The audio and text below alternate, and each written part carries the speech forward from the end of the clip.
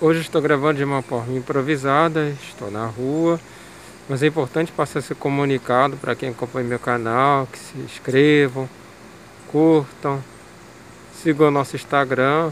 Hoje eu tenho um comunicado muito importante que é da empresa Nova Cap. Para quem não sabe, a Nova Cap opera na zona norte do Rio de Janeiro.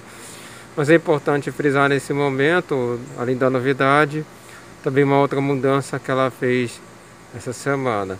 A primeira mudança, a primeira mudança todo mundo sabe, ela está operando na linha 67, que era operada pela aviação Acari, só que ela não está operando sozinha na linha, ela está em pau com outras empresas também.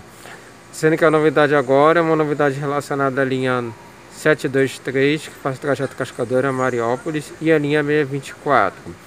Então, a primeira mudança que vocês têm que saber é que a linha 723 ela deixará de operar, mas na verdade ela não deixará de operar, ela vai entrar como uma variante da linha 624.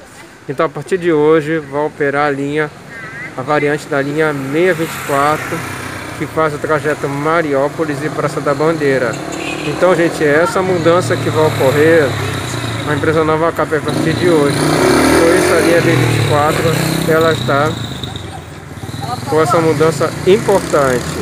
Então, acompanhe acompanhe em tempo real como vai ser essa mudança e como isso pode mudar a vida do usuário. Qualquer dúvida, qualquer comentário, qualquer novidade, deixe seus comentários aqui embaixo. Estaremos acompanhando de perto essa novidade.